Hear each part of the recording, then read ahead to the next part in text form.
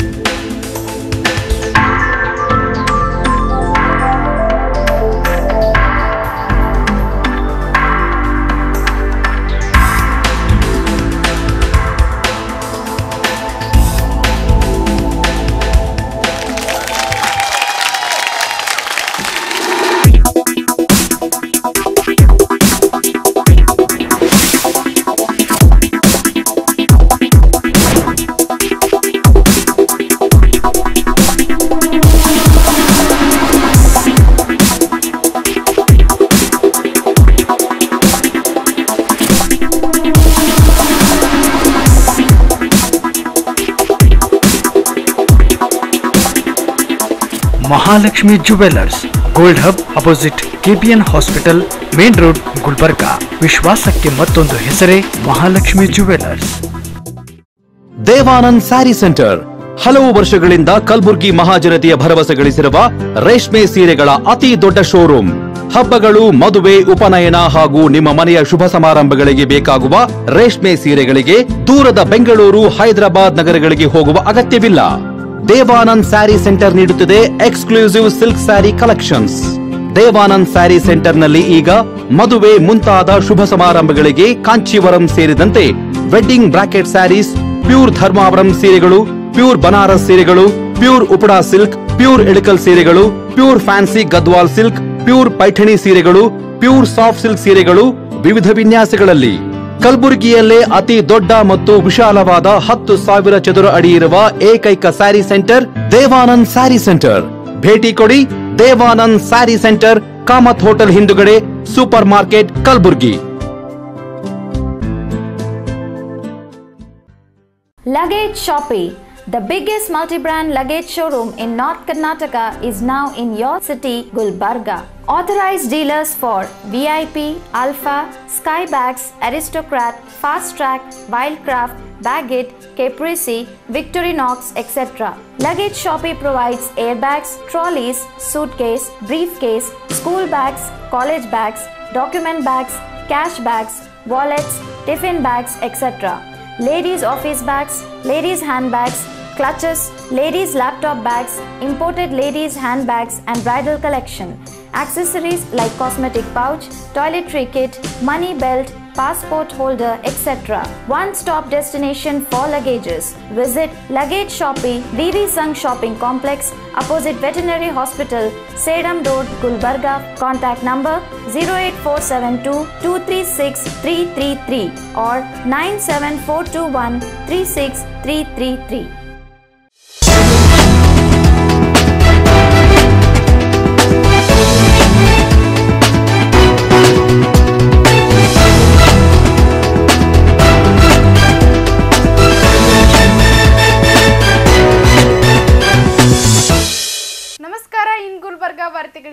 ಸ್ವಾಗತ. ಮೊದಲಿಗೆ ಮುಖ್ಯಾಂಶಗಳು.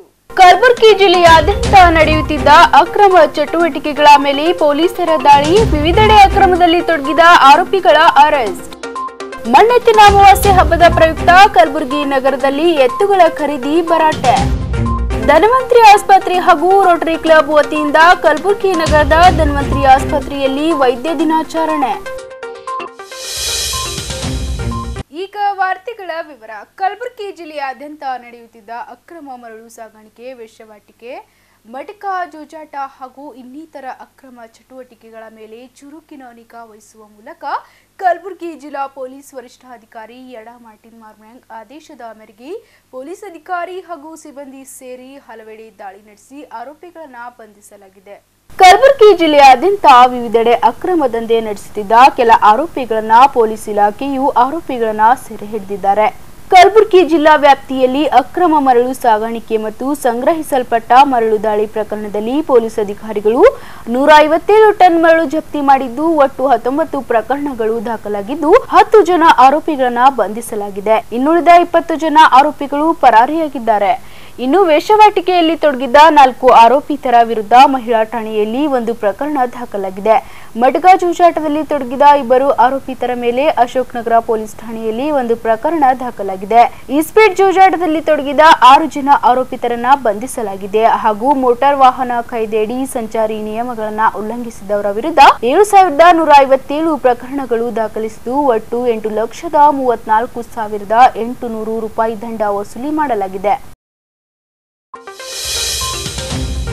ಮಣ್ಣೆತ್ತಿನ ಅಮಾವಾಸ್ಯೆ ರೈತರ ಪಾಲಿಗೆ ದೊಡ್ಡ ಹಬ್ಬವೆಂದೇ ಹೇಳ್ಬೋದು. ಈ ಮಣ್ಣೆತ್ತಿನ ಅಮಾವಾಸ್ಯದಂದು ಮಣ್ಣಿನಿಂದ ತಯಾರಾದ ಎತ್ತುಗಳನ್ನ ಖರೀದಿ ಮಾಡಿ ಅವುಗಳಿಗೆ ಈ ದಿನದಂದು ಮನೆಯ ಜಗುಲಿಯ ಮೇಲೆ ಪ್ರತಿಷ್ಠಾಪಿಸಿ ವಿಶೇಷ ಪೂಜೆ ಮಾಡಿ ಸಿಹಿ ಪದಾರ್ಥಗಳ ನೈವೇದ್ಯ ಮಾಡುವುದು ಕೃಷಿ ಕುಟುಂಬದ ಸಂಪ್ರದಾಯವಾಗಿದೆ. ರೈತರ ಪಾಲಿಗೆ ಬೆನ್ನೆಲುಬು ಆಗಿರುವ ಎತ್ತುಗಳ ಹಬ್ಬವೇ ಮಣ್ಣೆತ್ತಿನ ಅಮಾವಾಸ್ಯೆ. ಈ ಮಣ್ಣೆತ್ತಿನ ಅಮಾವಾಸ್ಯೆಯಂದು ರೈತರು ಎತ್ತುಗಳನ್ನ ಶೃಂಗಾರ ಮಾಡಿ, ಬಳಿಕ ಅವುಗಳಿಗೆ ಶ್ರದ್ಧೆ, ಭಕ್ತಿಯಿಂದ ಪೂಜೆ ಸಲ್ಲಿಸುವ ಸಂಪ್ರದಾಯ ಮೊದಲಿನಿಂದಲೂ ಬಂದಿದೆ. ಮಣ್ಣೆತ್ತಿನ ಅಮಾವಾಸ್ಯೆ ಹಿಂದಿನ ದಿನ ರೈತರು ಮಣ್ಣಿನಿಂದ ತಯಾರಾದ ಎತ್ತುಗಳನ್ನ ಖರೀದಿ ಮಾಡಿ ಅಮಾವಾಸ್ಯೆ ದಿನದಂದು ಎತ್ತುಗಳನ್ನ ಮನೆಯಲ್ಲಿನ ದೇವರ ಜಗುಲಿಯ ಮೇಲಿಟ್ಟು ನೈವೇದ್ಯವಿಡಲಾಗುತ್ತದೆ. ಸಂಜೆ ಚಿಕ್ಕ ಮಕ್ಕಳು ಮಣ್ಣಿನ ಎತ್ತುಗಳನ್ನ ಹಿಡಿದುಕೊಂಡು ಸ್ಪರ್ಧೆಯಲ್ಲಿ ಓಡಿ ಗುರಿ ತಲುಪುತ್ತಾರೆ. ಇದೇ ರೀತಿಯಾಗಿ ದೊಡ್ಡ ಮಟ್ಟದಲ್ಲಿ ಎತ್ತುಗಳನ್ನ ಇಟ್ಕೊಂಡು ಓಟದ ಸ್ಪರ್ಧೆಯನ್ನ ಆಯೋಜಿಸಲಾಗುತ್ತದೆ. ಈ ಹಬ್ಬದ ಆಚರಣೆಯು ರೈತರ ಪಾಲಿಗೆ ಆಧ್ಯಾತ್ಮಿಕ ಹಾಗೂ ಧಾರ್ಮಿಕ ಹಿನ್ನೆಲೆಯನ್ನೊಳಗೊಂಡಿದೆ ಎಂದು ಹಿರಿಯರು ಹೇಳ್ತಾರೆ. ಮಣ್ಣೆತ್ತಿನ ಅಮಾವಾಸ್ಯೆ ಪ್ರಯುಕ್ತ ಕಲಬುರಗಿ ನಗರದಲ್ಲಿ ಬಣ್ಣಗಳಿಂದ ತಯಾರಿಸಿದ ಎತ್ತುಗಳನ್ನ ಜನರು ಖರೀದಿಯಲ್ಲಿ ತೊಡಗಿರುವ ದೃಶ್ಯಗಳು ಕಂಡುಬಂದವು. ಪ್ರತಿ ವರ್ಷದಂತೆ ಈ ವರ್ಷವೂ ಕೂಡ ಮಣತ್ ಮಣೆತ್ತಿನ ಅಮಾಸೆ ಬಂದಿರುತ್ತದೆ. ಸಡಗರ ಸಂಭ್ರಮದಿಂದ ರೈತರು ಆಚರಿಸಬೇಕಾಗಿತ್ತು. ಮಳೆ ಅಭಾವದಿಂದ ರೈತರು ತುಂಬ ಸಪ್ಪಗಾಗಿದ್ದಾರೆ. ಮಳೆಯನ್ನೇ ನಿರೀಕ್ಷೆಯನ್ನು ಅವಲಂಬಿಸಿರುವ ನಮ್ಮ ರೈತರು, ಆದರೂ ಸಹ ಈ ಮಣ್ಣೆತ್ತಿನ ಅಮಾಸ್ಯವನ್ನು ಅತಿ ಭಾವುಕರಾಗಿ, ಶ್ರದ್ಧೆಯಿಂದ, ಭಕ್ತಿಯಿಂದ, ಯಾಕಂದರೆ ಈ ರೈತನಿಗೆ ಮುಖ್ಯವಾದದ್ದು ಎತ್ತುಗಳು. ಅವನ ಜೀವಾಳ. ಹೀಗಾಗಿ ಮಣ್ಣೆತ್ತಿನ ಹಬ್ಬ ಎಷ್ಟೇ ಕಷ್ಟ ಇದ್ದರೂ ಕೂಡ ಈ ಅಮಾವಾಸ್ಯವನ್ನು ಈ ರೈತರು ಅತಿ ವಿಜೃಂಭಣೆಯಿಂದ ಮಾಡ್ತಿದ್ದಾರೆ. ಈ ಗುಲ್ಬರ್ಗ ನಗರದಲ್ಲಿ ಈ ಎತ್ತುಗಳ ಮಾರಾಟ ಜೋರಾಗಿದೆ. ಹಾಗೆ ದೇವರಲ್ಲಿ ಈ ಮೂಲಕ ಪ್ರಾರ್ಥಿಸೋದಂದರೆ ಚೆನ್ನಾಗಿ ಮಳೆ ಬಂದು ರೈತರು ಇನ್ನೂ ಹರ್ಷೋದ್ಗಾರದಿಂದ ಈ ಒಂದು ಹಬ್ಬವನ್ನು ಆಚರಣೆ ಮಾಡಲಿ ಅಂತ ಆ ಭಗವಂತನಲ್ಲಿ ಪ್ರಾರ್ಥಿಸುತ್ತಾ ನನ್ನ ಎರಡು ಮಾತುಗಳನ್ನೇ ವಿರಾಮ ಮಾಡುತ್ತೇನೆ. ವೈದ್ಯ ದಿನಾಚರಣೆ ಪ್ರಯುಕ್ತ ಧನ್ವಂತ್ರಿ ಆಸ್ಪತ್ರೆ ಹಾಗೂ ರೋಟರಿ ಕ್ಲಬ್ ವತಿಯಿಂದ ಕಲಬುರಗಿ ನಗರದ ಧನ್ವಂತ್ರಿ ಆಸ್ಪತ್ರೆಯಲ್ಲಿ ವೈದ್ಯರ ದಿನಾಚರಣೆ ಆಚರಿಸಲಾಯಿತು. ವೈದ್ಯರ ದಿನಾಚರಣೆ ಹಿನ್ನೆಲೆ ವೈದ್ಯರಿಗೆ ಹಾಗೂ ಚಾರ್ಟೆಡ್ ಅಕೌಂಟೆಂಟ್ ಇವರುಗಳಿಗೆ ಸನ್ಮಾನ ಮಾಡಲಾಯಿತು.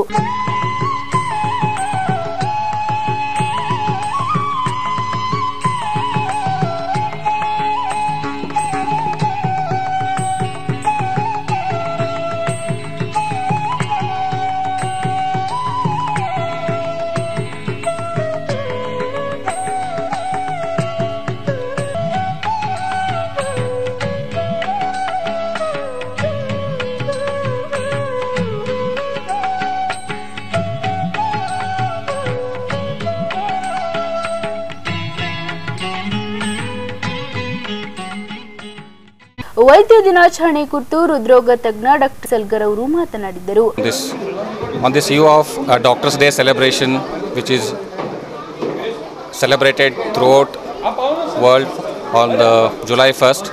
First of all, I congratulate all the doctors who are present here and all over the world to be the part of this uh, beautiful system and a social activity which is helpful for, for the mankind.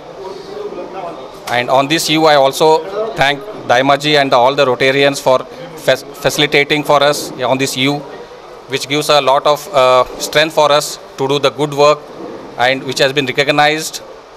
So, as a part, I once again thank all the doctors and all the organizers over here for arranging such a good program like felicitation.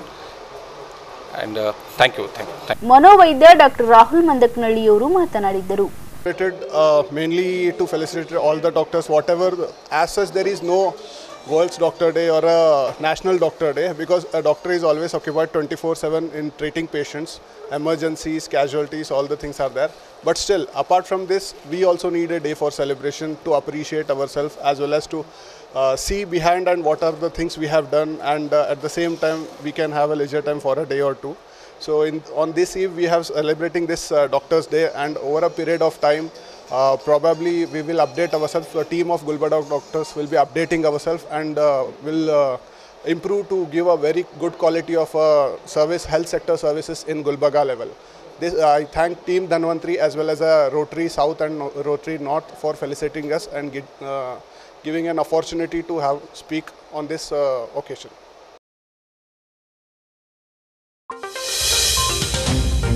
ಈಗ ಪುಟ್ಟದೊಂದು ವಿರಾಮ. ವಿರಾಮದ ನಂತರ ಇನ್ನಷ್ಟು ಸುದ್ದಿಗಳನ್ನ ನಿರೀಕ್ಷಿಸಿ.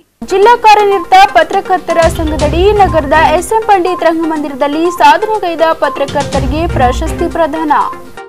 ಸ್ವಚ್ಛಮೇವ ಜಯಂತಿ ಹಾಗೂ ಜನಜಾಗೃತಿ ಮೂಡಿಸುವ ಬೀದಿ ನಾಟಕ ಕಲಾಛಾತ ಕೆಲಸ ಕಲಬುರಗಿ ಜಿಲ್ಲಾ ಪಂಚಾಯಿತಿಯಲ್ಲಿ ಆರಂಭಿಸುವಂತೆ ಒತ್ತಾಯಿಸಿ, ಹಾಸನ ಹಾಗೂ ಕಲಬುರಗಿ ಜಿಲ್ಲಾ ಬೀದಿ ನಾಟಕ ಕಲಾ ತಂಡಗಳ ಒಕ್ಕೂಟದಿಂದ ಅನಿರ್ದಿಷ್ಟಾವಧಿ ಧರಣಿ ಸತ್ಯಾಗ್ರಹ.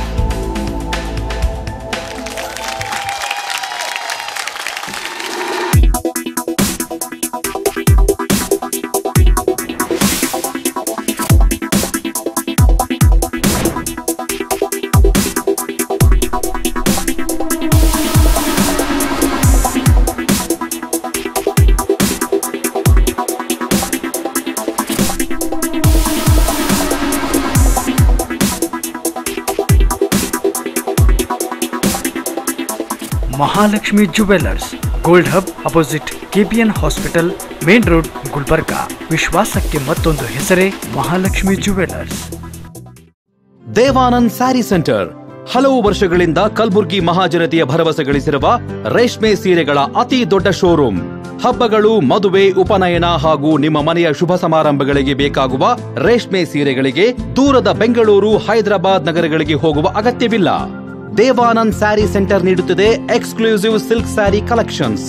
Devanand sari ಸೆಂಟರ್ನಲ್ಲಿ ಈಗ ಮದುವೆ ಮುಂತಾದ ಶುಭ ಸಮಾರಂಭಗಳಿಗೆ ಕಾಂಚೀವರಂ ಸೇರಿದಂತೆ wedding brocade saris, pure Dharmavaram ಸೀರೆಗಳು, ಪ್ಯೂರ್ ಬನಾರಸ್ ಸೀರೆಗಳು, pure Uppada silk, pure Ilkal ಸೀರೆಗಳು, pure fancy Gadwal silk, pure Paithani ಸೀರೆಗಳು, ಪ್ಯೂರ್ ಸಾಫ್ಟ್ ಸಿಲ್ಕ್ ಸೀರೆಗಳು ವಿವಿಧ ವಿನ್ಯಾಸಗಳಲ್ಲಿ. ಕಲಬುರಗಿಯಲ್ಲೇ ಅತಿ ದೊಡ್ಡ ಮತ್ತು ವಿಶಾಲವಾದ ಹತ್ತು ಸಾವಿರ ಚದುರ ಅಡಿ ಇರುವ ಏಕೈಕ ಸ್ಯಾರಿ ಸೆಂಟರ್ ದೇವಾನಂದ್ ಸ್ಯಾರಿ ಸೆಂಟರ್ ಭೇಟಿ ಕೊಡಿ ದೇವಾನಂದ್ ಸ್ಯಾರಿ ಸೆಂಟರ್, ಕಾಮತ್ ಹೋಟೆಲ್ ಹಿಂದುಗಡೆ, super market, Kalaburagi luggage shoppe the biggest multi brand luggage showroom in north Karnataka is now in your city Gulbarga. Authorized dealers for VIP, Alpha, Skybags, Aristocrat, Fast Track, Wildcraft, Baggett, Caprese, Victorinox, etc. Luggage Shoppe provides airbags, trolleys, suitcase, briefcase, school bags, college bags, document bags, cash bags, wallets, tiffin bags, etc. Ladies' office bags, ladies' handbags, clutches, ladies' laptop bags, imported ladies' handbags, and bridal collection. Accessories like cosmetic pouch, toiletry kit, money belt, passport holder, etc. One stop destination for luggages. Visit Luggage Shoppe, BB Sung Shopping Complex, opposite Veterinary Hospital, Sedam Road, Gulbarga. Contact number 08472 236 333 or 97421 36. ವಿರಾಮದ ನಂತರ ಮತ್ತೊಮ್ಮೆ ಇನ್ ಗುಲ್ಬರ್ಗಾ ವಾರ್ತೆಗಳಿಗೆ ಸ್ವಾಗತ ಜಿಲ್ಲಾ ಕಾರ್ಯನಿರತ ಪತ್ರಕರ್ತರ ಸಂಘದ ಆಶ್ರಯದಲ್ಲಿ ಕಲಬುರಗಿ ನಗರದ ಎಸ್ಎಂ ಪಂಡಿತ್ ರಂಗಮಂದಿರದಲ್ಲಿ ಪತ್ರಿಕಾ ದಿನಾಚರಣೆಯನ್ನ ಹಮ್ಮಿಕೊಳ್ಳಲಾಗಿತ್ತು ಹಾರ್ದಿಕವಾದ ಸ್ವಾಗತವನ್ನು ಕೋರಿ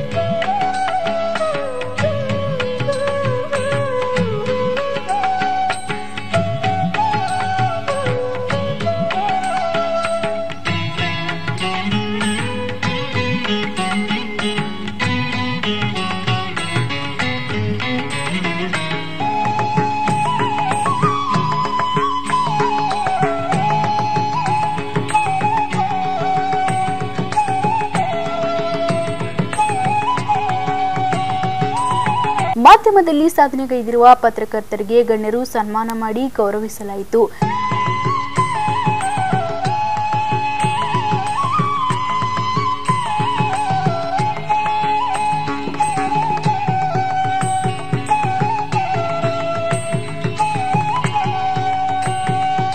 ಸಮಾರಂಭವನ್ನು ಉದ್ದೇಶಿಸಿ ಮಾತನಾಡಿದ ಪತ್ರಕರ್ತ ಸಂಘದ ಅಧ್ಯಕ್ಷ ಭವಾನಿ ಸಿಂಗ್ ಠಾಕೂರ್ ಅವರು ಮಾತನಾಡಿದರು. ಈಗ ನಾವು ತಕ್ಷಣ ಪತ್ರಿಕಾ ಶುರು ಮಾಡಿ ಒಂದು ನಂತರ ಅದೇ ರೀತಿ ಪತ್ರಿಕಾ ಭವನ ಹಿಂದಿನ ಮುಖ್ಯಮಂತ್ರಿ ಆದಂಥ ಯಡಿಯೂರಪ್ಪರವರು ಒಂದು ಇಪ್ಪತ್ತೈದು ಲಕ್ಷ ರೂಪಾಯಿಯಷ್ಟು ಕೊಟ್ಟು ನೀವು ಬಾಕಿದು ಮುಕ್ಕಿದೆಲ್ಲ ಒಂದು ಎಪ್ಪತ್ತೈದು ಲಕ್ಷ ರೂಪಾಯಿ ನೀವೇ ಸಂಗ್ರಹಿಸಿ ಸಂಸದರು, ಶಾಸಕರು ನಿಧಿಯಿಂದ ನೀವೇ ಸಂಗ್ರಹಿಸಿ ಮಾಡಿ ಅಂತಂದ್ರು.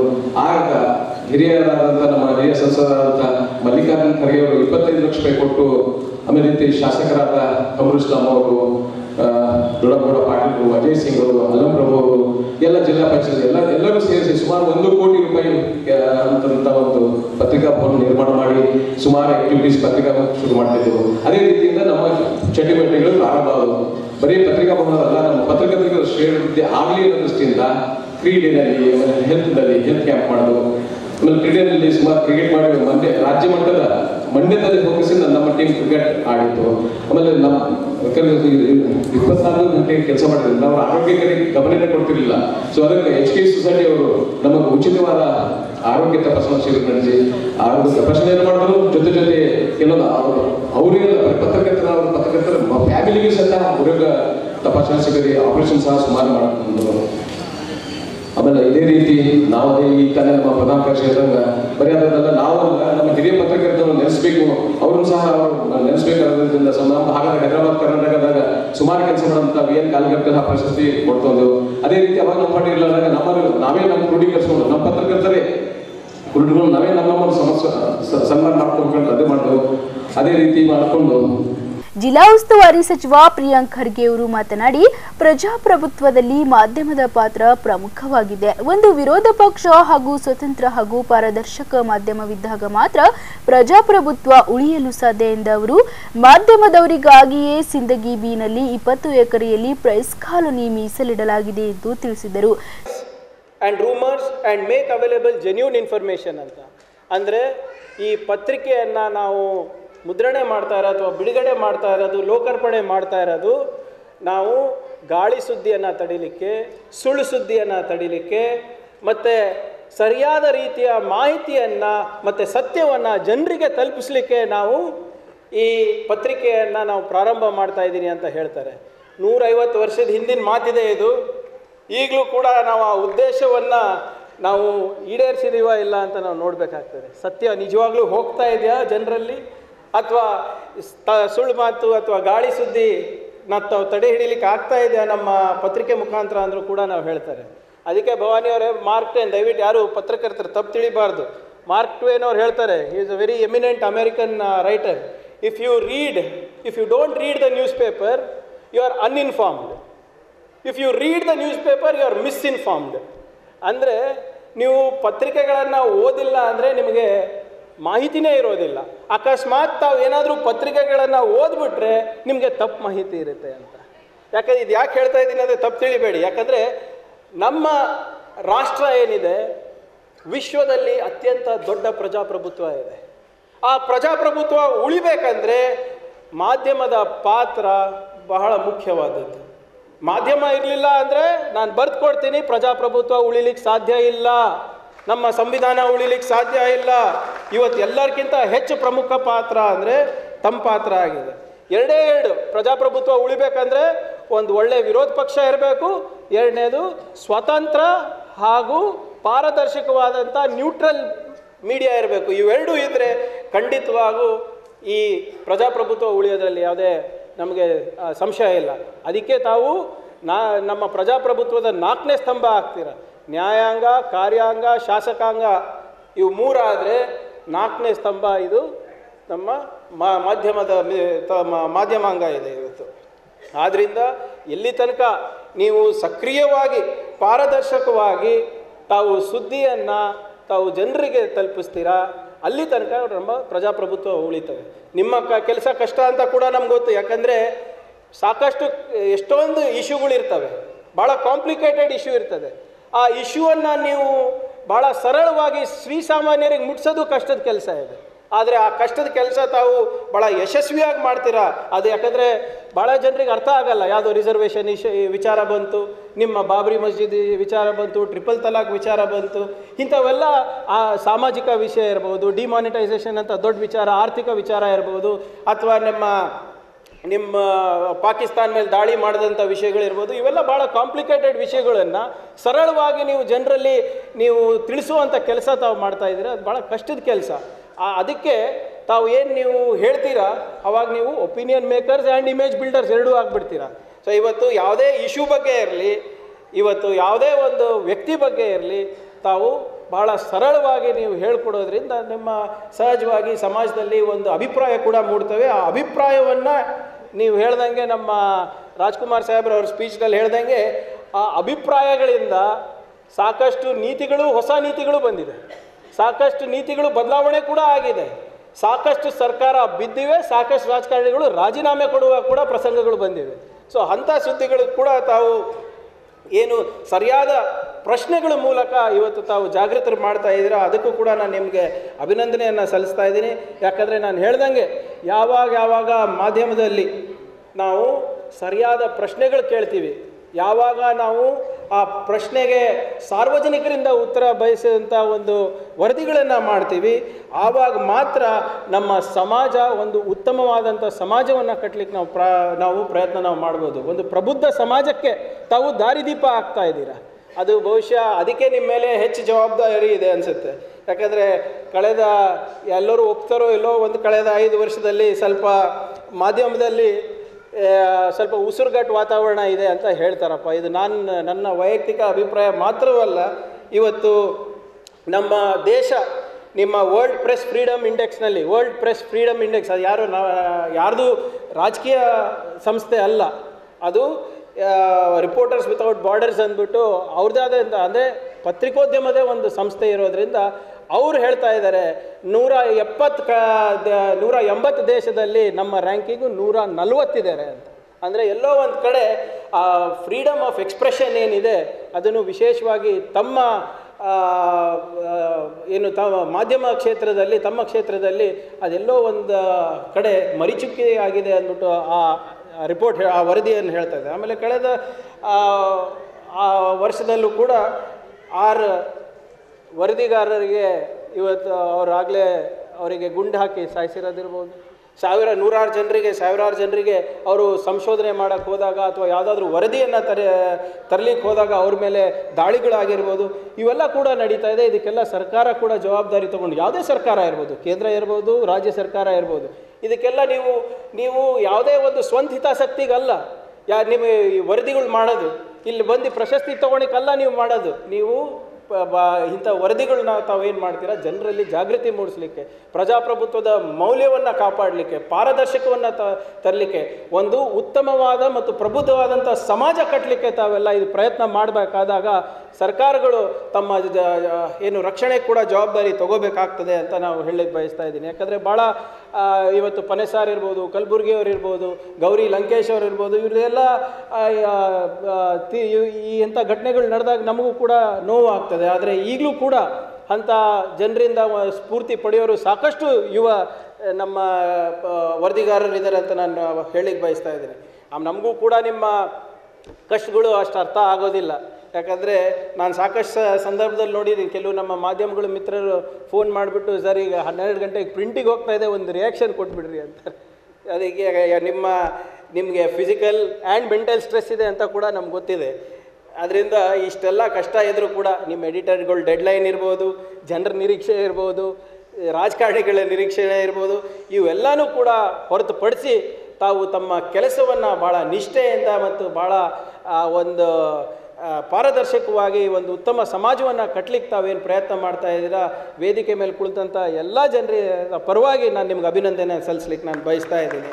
ಆದ್ದರಿಂದ ಕೊನೆಯದಾಗಿ ನಾನು ಹೇಳ್ದಂಗೆ ನಮ್ಮ ಪ್ರಜಾಪ್ರಭುತ್ವ, ನಮ್ಮ ಸಂವಿಧಾನ ಉಳಿಬೇಕಾದರೆ ನಾವು ಒಂದು ಸಕ್ರಿಯವಾದಂಥ ಮಾಧ್ಯಮಗಳಿರಬೇಕು ಪಾರದರ್ಶಕವಾದಂಥ ಮಾಧ್ಯಮಗಳಿರಬೇಕು, ಸ್ವತಂತ್ರ ಮಾಧ್ಯಮಗಳಿರಬೇಕು, ಮತ್ತು ಅಬವ್ ಆಲ್ ನ್ಯೂಟ್ರಲ್ ಇರಬೇಕು. ಅವ್ರದ್ದು ಯಾವುದೇ ಇಶ್ಯೂ ಬಗ್ಗೆ ಇದ್ದಿದ್ದಂಗೆ ಹೇಳಿದ್ರೆ ಆವಾಗ ಜನರಿಗೆ ಅಭಿಪ್ರಾಯವನ್ನು ಬೆಳೆಸಲಿಕ್ಕೆ ಕೂಡ ಅನುಕೂಲ ಆಗ್ತದೆ. ಆವಾಗ ಮಾತ್ರ ನಮ್ಮ ಪ್ರಜಾಪ್ರಭುತ್ವ ಉಳಿಯುತ್ತೆ ಅಂತ ನಾನು ನಿಮ್ಗೆ ಹೇಳ್ತಾ, ಕೊನೆಯದಾಗಿ ಸಾಕಷ್ಟು ಬೇಡಿಕೆಗಳನ್ನು ತಮ್ಮ ಸಂಗತ್ ವತಿಯಿಂದ ತಾವು ಇಟ್ಟಿದ್ದೀರಾ? ಖಂಡಿತವಾಗೂ ಡಿ ಸಿಗಳ ಜೊತೆ, ಡಿ ಸಿ ಜೊತೆ ನಾನು ಚರ್ಚೆ ಮಾಡಿ ನಿಮ್ಮ ಸಂಘಟ, ನಿಮ್ಮ ಸಂಘದ ಬಗ್ಗೆ ಹೇಗೆ ಮಾಡೋದು ಅದು ಕೂಡ ನಾನು ಪರಿಶೀಲನೆ ಮಾಡ್ತೀನಿ. ಅದಲ್ಲದೆ ಶ್ರೀ ವಿ ಎನ್ ಕಾಗಲ್ಕರ್ ಅವರ ಪ್ರಶಸ್ತಿ ನಮ್ಮ ರಾಜ್ಯ ಮಟ್ಟದಿಂದ ಆಗಬೇಕು ಅಂತ ಹೇಳಿದರೆ ನನ್ನ ಮನವಿ ದಯವಿಟ್ಟು ತಾವು ಸಂಘದ ವತಿಯಿಂದ ನನಗೆ ಒಂದು ಪತ್ರ ಬರೆದ್ರೆ ನಾನು ಖಂಡಿತವಾಗೂ ಆ, ಅದನ್ನು ನಾನು ಆಧಾರವಾಗಿ ಇಟ್ಕೊಂಡು ಸರ್ಕಾರದಲ್ಲಿ ಪ್ರಾಮಾಣಿಕವಾಗಿ ನಾನು ಪ್ರಯತ್ನ ನಾನು ಮಾಡೇ ಮಾಡ್ತೀನಿ ಅಂತ ನಾನು ಹೇಳ್ತಾ ಇದ್ದೀನಿ. ಮತ್ತು ಈಗ ತಾನೇ ಬಾಬುರಾವ್ ಯಡ್ರಾಮಿ ಅವರು ಬಂದು ಇಲ್ಲಿ ನಿವೇಶನದ ಬಗ್ಗೆ ಹೇಳಿದ್ರು. ತುಮಕೂರಿನಲ್ಲಿ ಡಿ ಸಿ ಎಂ ಸಾಹೇಬರು ಒಂದು ಪತ್ರ ಬರೆದಿದ್ದಾರೆ. ನಿಮ್ಗೆ ಬೇಕಂದರೆ ಪತ್ರನೇ ಬೇಕಂದರೆ ಪತ್ರನೇ ಬರೆದು ಬಿಡ್ತೀನಿ ಆದರೆ ನಾವು ಪತ್ರ ಬರೆಯೋದು ರಾಟಿ ಹಾಕಿಲ್ಲ ನಾವು. ಆಗಲೇ ಇಲ್ಲ, ಅದಕ್ಕೆ ಆಗಲೇ ಸಿಂದಗಿ ಬೀನಲ್ಲಿ ಇಪ್ಪತ್ತು ಏಕರ್ ನಾನು ನೋಡಿ ಇಟ್ಕೊಂಡು ಅದಕ್ಕೆ ಇವತ್ತೇ, ಇವತ್ತಿನ ದಿನಾನೇ ಡಿ ಸಿ ಅವ್ರ ಕಡೆ it is reserved for press colony ಅಂತಲೂ ಹೇಳಿದ್ದೀವಿ. ಥರ್ಟಿ ಫಾರ್ಟಿ ಸೈಟ್ಸ್ ಮೂವತ್ತು, ನಲವತ್ತು ಸೈಟ್ ಅಂದ್ಬಿಟ್ಟು ಇವತ್ತು ಇಪ್ಪತ್ತು ಎಕರೆದಲ್ಲಿ ಇವತ್ತು ನಮ್ಮ ಮಾಧ್ಯಮದ ಮಿತ್ರರಿಗೆ ಅವ್ರು ಪಡ ಪಡುವಂಥ ಶ್ರಮಕ್ಕೆ ಎಲ್ಲೋ ಒಂದು ಕಡೆ ನಮ್ಮ ಅಳಿಲ್ ಸೇವೆ ಅಥವಾ ನಮ್ಮ ಒಂದು ಸರ್ಕಾರದಿಂದ ಒಂದು ಸಣ್ಣ ಕಾಣಿಕೆ ಅಂತ ನಾವು ಹೇಳ್ಬೋದಾಗಿದೆ ಇವತ್ತಿನ ದಿನ. ಯಾಕಂದರೆ ಸಾಕಷ್ಟು ನಮ್ಮ ಒಬ್ಬ ಸ್ನೇಹಿತರು ಮುಂಚೆನೇ ಕಳಿಸ್ಬಿಟ್ರು ನನಗೆ. ಈ ಇಂಥದ್ದು ಒಂದು ಇದೇ ಇದೆ ನೋಡಿ ಸರ್ ಕಲಬುರ್ಗಿನಲ್ಲಿ ಏನು ಮಾಡ್ತೀರಾ ಅಂತ. ನಾನು ಮತ್ತೆ, ನಾವು ಮತ್ತೆ ಪತ್ರ ಬರೆದು, ಪ, ಆ ಪತ್ರಕ್ಕೆ ನಮ್ಮ ಪತ್ರ ಹೋಲಿಕೆ ಮಾಡ್ತೀವಿ. ಅಷ್ಟೇ ಹೊರತು ಕೆಲಸ ಆಗೋದಿಲ್ಲ.